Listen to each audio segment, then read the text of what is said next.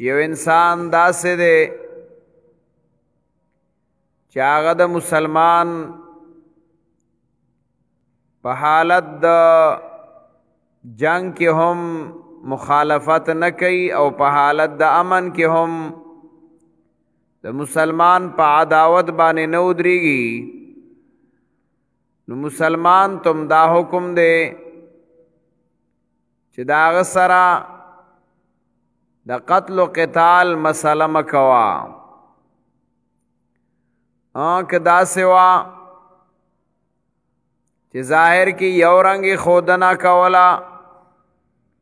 او حقیقت کې خبره بدلا وا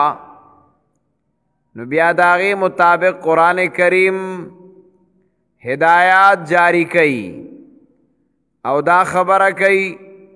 چې دا غي سره دا غي مطابق بیا عمل او طریقې کار غي اختیار کوي دلته قران هغه خلق بیان کړل چې هغه په ظاهر کې یو رنګ یو او باطن کې بل رنګ یو نو قران کریم دا غي خباست دا غي قباحت واضح کا چې ګوره دا خلک صرف د دې د پاره تاسو ترا نږدو کیږي چې تاسو د غلبې په ټیم کې یا تاسو پاغه وخت کې چې تاسو په دای باندې اختیارات قائمیږي زور قائمیږي نو دای ته به نقصان رسی نو دا غینه د ځان بچکولو د پاره تاسو ترا نږدو کیږي خو کله چې پویږي چې یاره مونږ په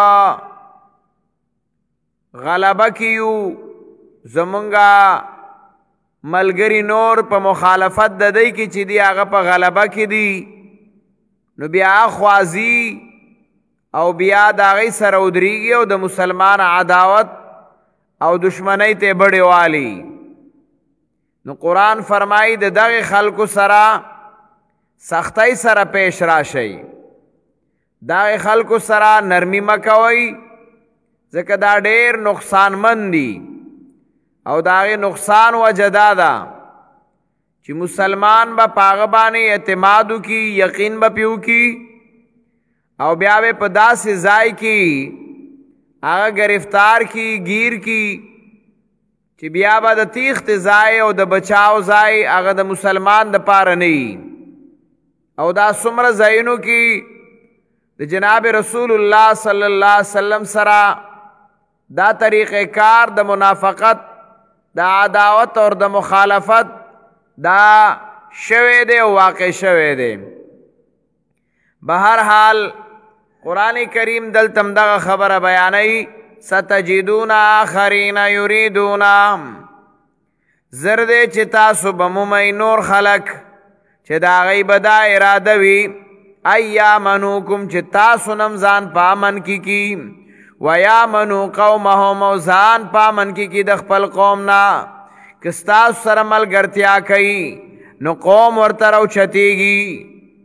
چوا قوم دې پرې خودا او د دې سره په ملګرتیا کې ودرې دي نو د قوم د یرینا ستاسو مخالفت ستاسو ملګرتیا او حمایت نشي کوله قوم نه یریږي چې کده دې مو دې سره حمایت کوما موافقت کوما ټول قوم را ته مخالفت باندې ودرېږي ولې دا غي سره ودرې دي ولې دا غي په حمایت کې ودرې دي نو چې دا یرا دا غي د ځان بچکولو د پاره دا غي نه ځان بچکی نو تاسو سره دا غي په موجودګۍ کې موافقت او حمایت نه کوي ا چې کله غي نه او دا مسله ورته نه وي نو بیا ستاسو نم ځان بچ کوي چېره دی تم په مخالفت په نظر کې را نه شو دی تم د عداوت په نظر کې را نه شو نو ستاسو نه د ځان بچ کولو د پاره تاسو ته نږدو کیږي خو د قوم د مخالفت د وجنا بیا قوم سره ودریږي نو قران فرمایي او حقیقت خای کلما ردو ال الفتنه ورکسو فیها او دلته عجیب خبره کړي فتنه ویلي د فتنه ظاهر لفظ نه دی ذکر کړي چې کلما ردو ال القتال جنگ نه دی ویلې چې کله دی واپس کیږي جنگ تا جنگ نه دی ویلې معلومیږي دا چې فتنه ذکر کړه نو د فتنې لومبنۍ جرړه هغه شرک دی د فتنې لومبنۍ جرړه هغه کفر دی د فتنې لومبنۍ جرړه ما دا خلاف د قران او د سنت دی د پیغمبر خلاف دی نو کلمہ ردو ال الفتنه ار کله چې دی فتنې طرف ته اگر بلل شي واپس کې دی شي او دی ته مکمل او شي فتنې طرف ته نو بیا دې ته نه ګوري چیرا ما ته خو د دینا ځان ته بچاو پکار دی اجتناب پکار دی نه نه اور کی صوفیها تفسیر دلته یو زبردست خبره کړې ده او هغه دا چې د موسی علیه صلوات والسلام د قوم تذکرہ یې کړې ده چې داسې بنئ چې د موسی علیه صلات و سلام قوم چې کوم ور سره او لیدلی ملګری وو د سمندر نه او د دریاب نه خو چې کله ته موسی علیه السلام لاړ سلویخت ورځو ته الله وغوښته وإذ وعدنا موسى أربعين ليلة چالیس ورځو ته موسی علی السلام د قوم نه جدا شو نو قران څه فرمایي بیا غ فتنه ته واپس شول ثم اتخذتم العجل من بعده موسی علی السلام د یو لوی فتنې نه منع کړیو چې تاسو د سخی عبادت مکوئ د الله نه ما سوا ګوره دا الٰه نه دی او دا دعوتونه ورته ورکړي وو ورکړي وو بعض علما لیکي چالیس سال پورې موسی علیه السلام دغه دعوت ورته چلولی و چې سخی داد اله نشي کېدی سخی چې دی نو هغه لایق د عبادت نشي کېدی اور چې کله موسی علیه السلام ته جدا شو نو دلته خو موسی علی السلام ته ویلو موږ ستا ملګری یو دریاب نه مور سره پوری شوی یو او چې کله تی موسی علی السلام یو سو رجل جداش او د مسالې بیان اغا د موسی علی السلام رکاو شو وغلاړه نو قران فرمای سمت به پکې وخت نه دی تیر کړي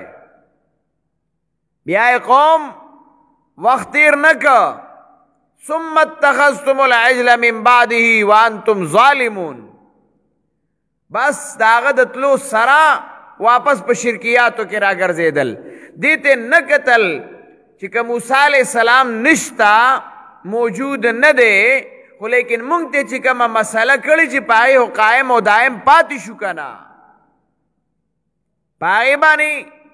کلک پاتې شو چې مونږه د یو لوی فتنې نه منع کړیو چې هغه د سخی عبادتو نو کم سے کم د موسی علیہ الصلات والسلام د تلو نه بعد دای خو په دغه خبره باندې مضبوط پاتې کېدل پکارو نو دغلته قرآن دا مسله بیانوي چې فتنې نه مراد چې کله شرک شي نو د شرک دغه مثال موجود دی دارنګي نو قران کریم دلتم دا خبره کوي کلم ردو ال الفتنه اور کی صوفیها یو مراد ته دا فتنه ناغه شرک شو چې پای کې الټا ور پریوزی لکه د موسی علی السلام قوم ګورا موسی علی السلام ورته دعوتونه کړیو بیانونه کړیو وازونه کړیو تقریرونه کړیو لیکن کله چې موسی علی السلام تلاړه د تبیا موقع ملاو شو او معمولی ورته سامری اغه خپل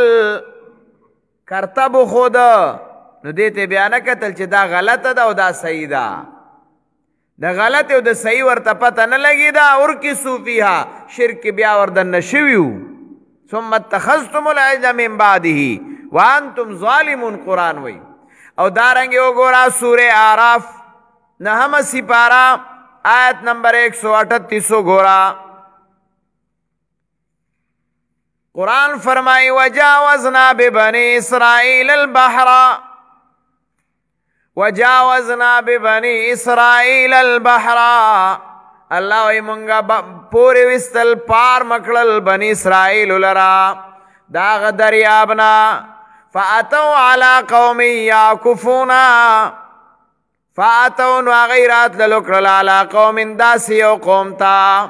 رات للیو کرل په داسی یو قوم بانی یا کفونا چاغ عبادت کولو علا اسنام لهم دخپلو بوتانو خدایانو د الله نه ما سوا د بل چا عبادت کولو نو موسی علی السلام سره دا ملګری چې روان دي نو ګوره سره د دینا چې موسی علیه صلوات و سلام ورته څومره دعوتونه نصیحتونه کړی دي لیکن بیا هم قران وایي کله چې دی ولیدل چې واسخی تا ابن نور سیزونو ته عبادت کیږي بوتانو ته عبادت کیږي نو دی زر موسی علی السلام ته سوئی قالو یا موسی جعل لنا الہا کما لهم الہا اے موسی علیہ السلام زمونږ د پارم داسې یو معبود جوړ کا الہ جوړ کا زمونږ د پاره ولې داسې نشتا کما لهم الها څنګه چې د دې د پاره الہ دی موسی علی السلام ورته دغه چغه وای چې د الله نه ما سیوا بل الہ نشتا او دې موږ له جوړ کا کله چې د شرک ځای ولید د شرک ماحول ولید د فتنې ماحول ولید فتنې ته واپس شو نو قران دا مسله بیانوي چې داسې نه د پکار داسې نه د پکار چې د شرک ماحول نه تپا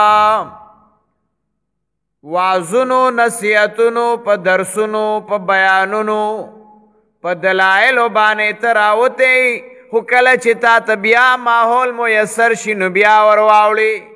دا ایمان نشه کنه دا سن ده پکار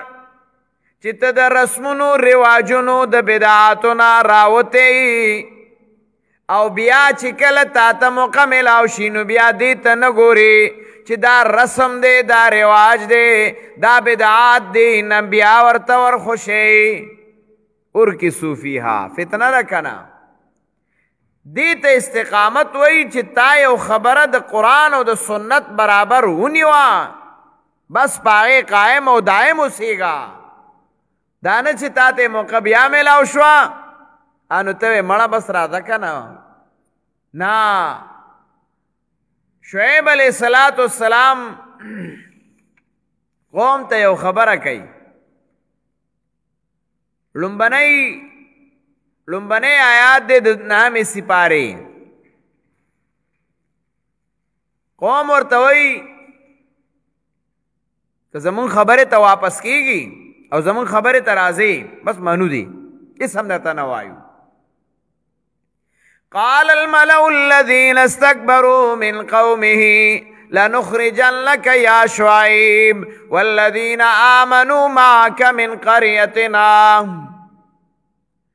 قرآن فرمایي ویل هغه ډلې د هغه کسانو چې هغې ځان غټ ګڼلی و د قوم د شعیب علیه صلات وسلام نه ویل نخرجنک یا شعیب مونږ به تا وباسو ای شعیب علیه السلام د خپل کلي نه به دې وباسو ولې څه چلی کړی د الله دین بیان کړو د الله د وحدانیت مسله بیان کړې و ویلا نخرجن لك یا شعیب موږ بتاو باسو اے شعیب علی السلام د خپل کلینا والذین واکسان لرا آمنو ما کا چې ایمان راوړلې ری او ستا ملګری دي تا سره دي من قريتنا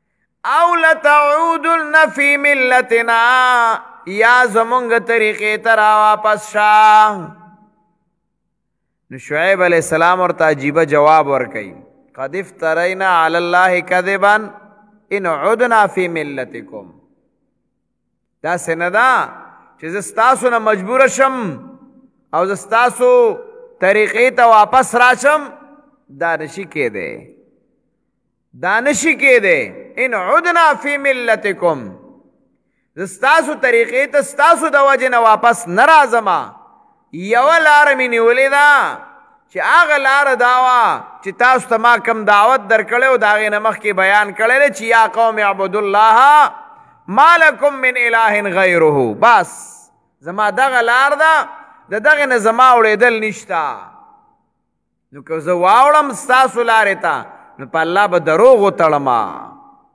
نو دلتم قران کریم د اخلاص مسله بیانوي چې ګورا د منافقت ایمان د الله نه دی خوخ منافقت کردار د الله نه دی خوخ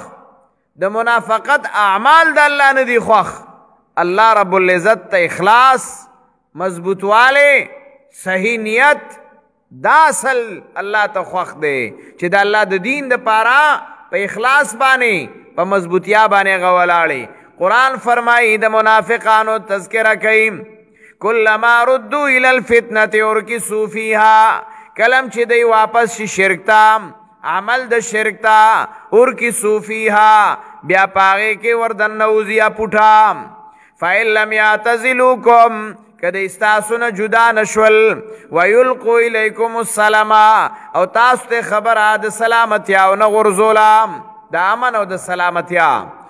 ويكفو ايديهم او بند نه کړل لاسونه خپل ستاسو د نقصان او د جنگ نام فخذوهم نونی سیدی وقتلوهم قتل کوي چې کله په میدان جنگ دا حيث سقفتموهم کم زه کم چې ومندل واولائکم جعلنا لكم دا کسان دي چې الله وي مونږ تاسو له درکړې ده په دی باندې سلطان مبینا دلیل او غلبا اخکارا الله رب العزت دې زمونږ استاد هم استقامت په دین قران او سنت باندې هغه نصیب وګرځي الله زمونږ په حال باندې رحم وکړي الله بیمارانو ته صحت کامله عاجله نصیب کړي څومره مسلمانان وفات شوي دي الله مغفرت او بخنه نصیب کړي وصلی الله تعالی